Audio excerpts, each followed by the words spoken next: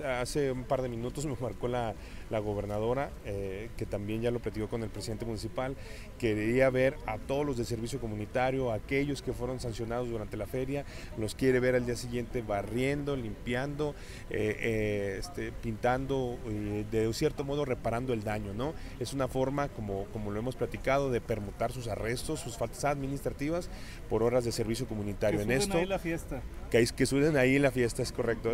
La finalidad es que, que reparar el daño, pero también permutarles sus hasta 36 horas por 4 a 5 horas de servicio comunitario. Servicio Alrededor comunitario. de 400 personas eh, estuvieron en servicio comunitario trabajando, en combinación con aquellos que fueron detenidos por, por parte de Seguridad Pública, tanto municipal, estatal, eh, que fueron puestos a disposición en el C4 o aquí en Base Volcán. ¿no? Recordemos que la Dirección de Justicia Cívica, ahí el director Moisés, Moisés de Luna ha sido muy empático en seguir manteniendo este, este operativo en conjunto con servicios públicos. Eh, Recordemos que es una cuestión voluntaria, aceptada y voluntaria por parte de los mismos infractores, permutar sus horas de arresto por unas cuantas horas de sudar Un ratito. Por ejemplo, los que vienen de otros estados. También, también, a también, sí es una opción. Es al final de cuentas eh, el desconocimiento de la ley no, ex- no exime la responsabilidad. Igualmente, si quien guste permutar sus horas de arresto por fal- de las faltas administrativas lo podrán hacer. El día, todos los días lo seguimos haciendo, pero ahora en temporada de feria los veremos aquí trabajando. La, la intención y también la, la supervisión por parte del, del